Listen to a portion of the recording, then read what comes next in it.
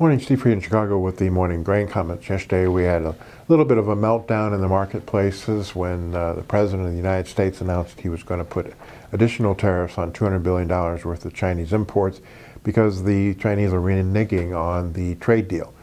As far as the overnight trade, we're a little bit lower. Um, on one hand, the, at midnight, the U.S. did impose uh, additional tariffs on $200 billion worth of Chinese goods.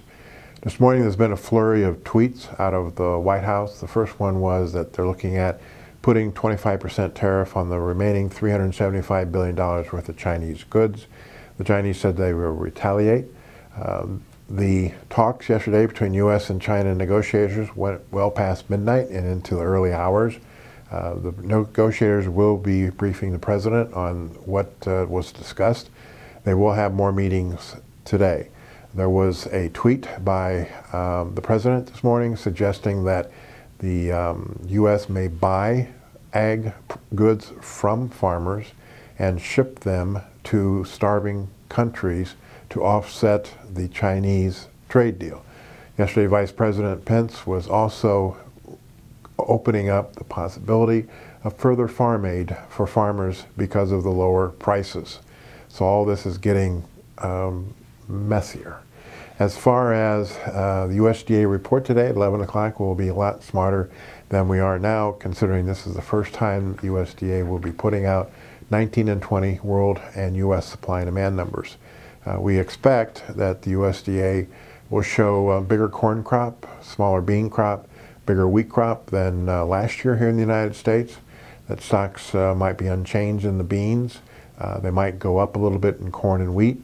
Globally, we're looking for higher wheat and soybean world ending stocks and lower corn stocks. The only thing that could be a little bit different than normal is that three times in the last 10 years, U.S. corn plantings have been behind normal like they are this year.